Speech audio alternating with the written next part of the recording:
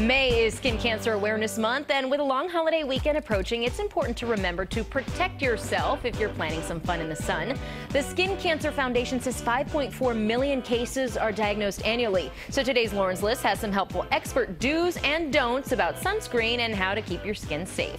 First, don't bother with high SPF. Sounds crazy, right? An SPF 100 seems pretty tempting, but the FDA says there's no evidence such products provide better protection against harmful rays and they may actually make us feel overconfident and less likely to apply, and sometimes they're more expensive. SPF 30 is fine as long as you remember to reapply.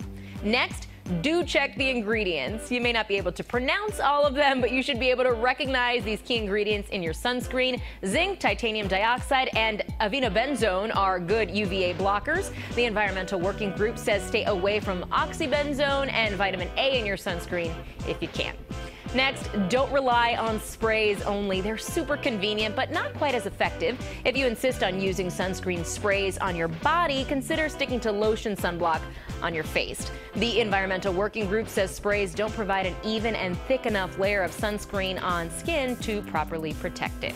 And finally, do use other forms of protection. Sunscreen is great when applied correctly, but experts say it's not proven to prevent all types of skin cancer. So cover up, wear shirts, hats, pants, shorts whenever possible. Try to stay under an umbrella at the beach when you're not out enjoying the water. That's pretty much where I live when I'm out at the beach, under that umbrella. What's your best advice for protecting your skin? Tell me on Facebook or Twitter. My handle is at Lauren Pastrana, and you can send future Lauren's list my way as well.